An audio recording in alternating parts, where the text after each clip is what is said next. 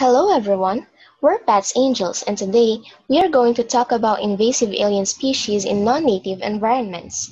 For this particular subject, we're going to focus on the hippo problem in Colombia and the local invasive alien species in the Philippines.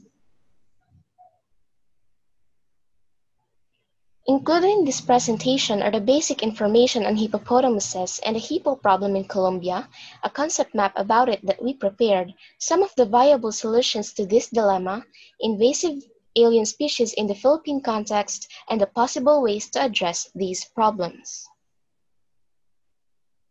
Here's a few fun facts about hippos. Did you know that hippos secrete an oily red substance that acts as a moisturizer, sunblock, and protects them from germs? This also makes them look like they are sweating blood. This is Pablo Escobar.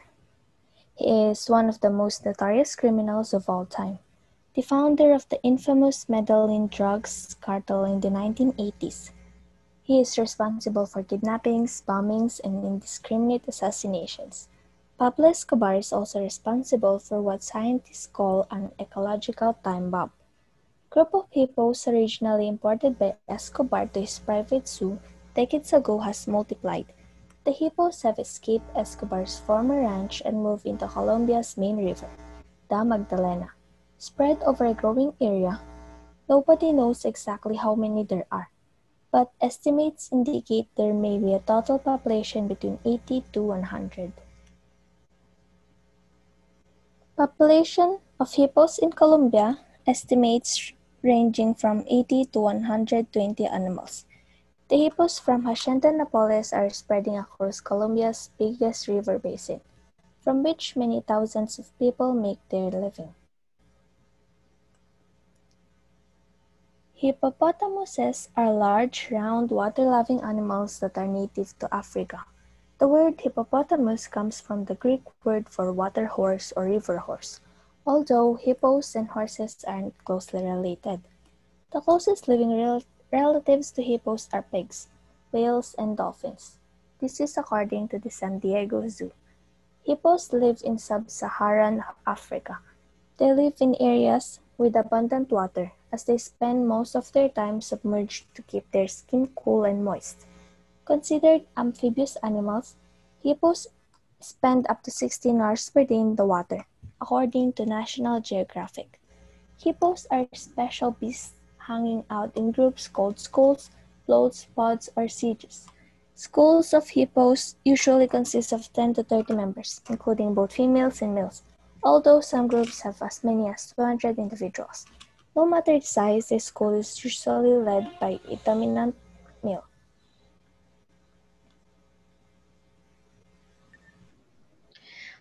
Scientists and experts have been researching for ways to turn this situation around.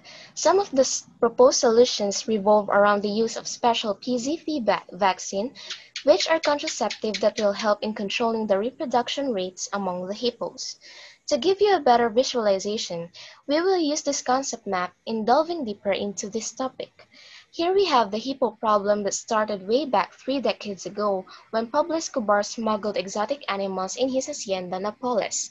The problem that this poses is that, for decades, these amphibians continue to grow in numbers because of the lush habitation that they have found themselves in.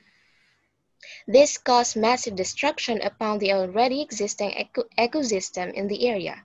Some of the positive effects of this are locals have developed a sense of protective instinct towards these creatures, and there has been a boom in their tourism industry, while some of the negative effects are algal bloom caused by the feces of these hippos, increased competition for nutrition, and possible aggressive behavior of the hippopotamuses.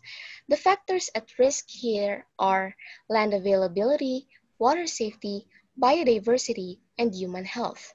Some of the possible solutions to this problem is hippo hunt, castration, relocation, and specialized contraceptives. How can we relate this in the Philippine context? According to Ravindra Joshi, Yoshi, in the Philippines, data on the impact of invasive alien species on native biota are scarce and limited to a number of anecdotal reports indicate that native species may be adversely affected through competition, predation, habitat alteration, and parasitism. Impact of IAS in the 11 to 2 Philippines is poorly understood because of lack of knowledge about taxonomic identity of IAS and also lack of extensive and comprehensive technical information, failure to realize the potential ecological damage the Philippine biodiversity and consequent economic losses and possible hazard to human health, failure of implementation of laws and introduction of exotic species, and unwillingness to interfere in the commerce and trade of exotic species.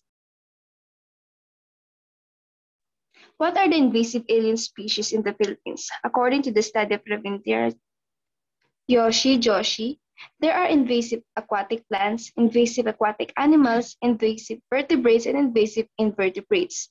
The invasive vertebrates are comprised of different kinds, plant-based organisms and non-native earthworms. The invasive vertebrates are a variety of the following, different types of rodents, lizards, birds, and frogs.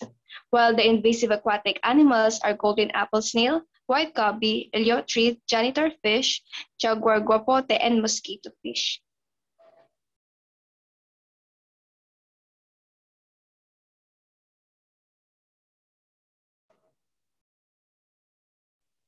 How can we address and alleviate the problems about alien invasive species in the Philippines?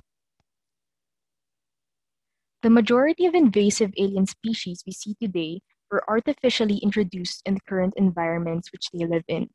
Most amphibious and reptilian invasive species were introduced to our locale due to the belief that they would reduce the number of crop destroying insects like locusts. Similarly, introducing rodent and lizard species to reduce cockroaches and other pests. Why are these invasive species a problem in the first place? We break this down in three key points. First, they are hardy. These animals were introduced into our country in very small amounts. However, the fact is they easily adapt to the environment. They were able to reproduce greatly in a matter of years. This is harmful because they altered the hierarchy of the food chain. Second, their defense mechanisms don't allow nature to take its course and removes the equilibrium that exists within it. This looks like some species of frogs rapidly producing and destroying their immediate surroundings. Attempts of poisoning them would be unproductive because some have adapted to become resistant against it, or the fact that even if some animals are capable of consuming them, like crocodiles, some species are too toxic to consume and will end up killing the endemic animal. Third, the reason why a lot of species go extinct in the first place is because of utility. It looks like the Arapaima, which doesn't produce much, are greatly depleting because of overfishing due to demand for meat. In contrast, the pleco is so common with the new ones that human interaction does not exist because no one is interested in a pleco. Similarly, no one is interested in a cane toad. This means not only are these invasive species reproducing at a massive rate, they are also widely left alone by the general population because they do not serve a valuable purpose other possible alternatives and why they don't work. First, we can't poison them like the kuhol, for example, because they are usually found in rice plantations or ponds. If we poison them, we compromise our fishing industries and crops. And some species are even immune to poison. Even if we poison species that do not naturally dwell within crops, the likelihood is we still manage to poison endemic animals while the invasive species remain alive. Second, you also can't reintroduce another invasive species to eat them because that would be counterintuitive. This means we can't introduce hippos, for example, in the Philippines to combat the rising number of lizards because that only brings a fresh set of problems. Third, you can't compromise with them because they are very hardy and not very good with compromise. With that being said, we propose three probable solutions. First, is a systematic government response in the form of agencies helping handle the systematic capture and culling of these species. Basic techniques are being used in status quo already. Like, for example, in Australia, cane toads are systematically shot by hunters. Because in comparison to hippos, we can't exactly gather all the frogs, rats, and lizards and sterilize them one by one. Second, we're going to make incentive structures that pushes for change. This can look like reward systems or can exist in forms of disseminating information. This can look like you getting paid when you bring 100 rats to your local government or being compensated for your hard work for keeping the city clean. And third, and most importantly, we want to shift the forms of commercial products in line with these types of features, like capturing plecos, taking them out of river basins to put to be put into pet stores, or use frog skins to use them as ornaments or accessories. The beauty in this is that we deplete the resources we have in the wild. So even if you make an industry out of these creatures, the likelihood is this will be an isolated industry. The conclusion is that all invasive species only bring to a certain extent destructive capacities to the endemic surroundings. It is only beneficial to remove them from the picture because otherwise, the ones who are going to be removed are the endemic creatures that already exist.